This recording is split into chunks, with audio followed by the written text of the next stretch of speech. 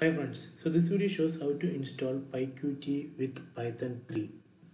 So first we need to run sudo apt update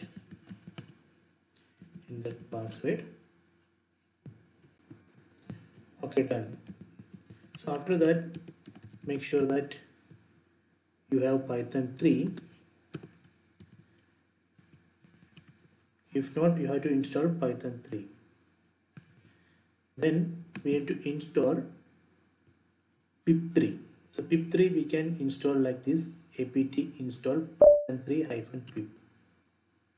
Pip3 already installed. Let me check the version of pip3 okay. So let me clear the screen. So after that we can install pyqt5 like this. Pip3 install pyqt5 press enter you can see it's downloading PyQt5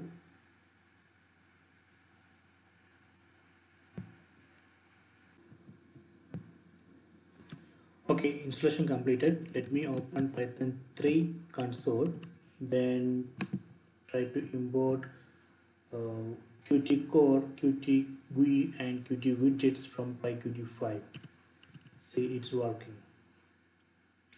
So this way we can install pyqt5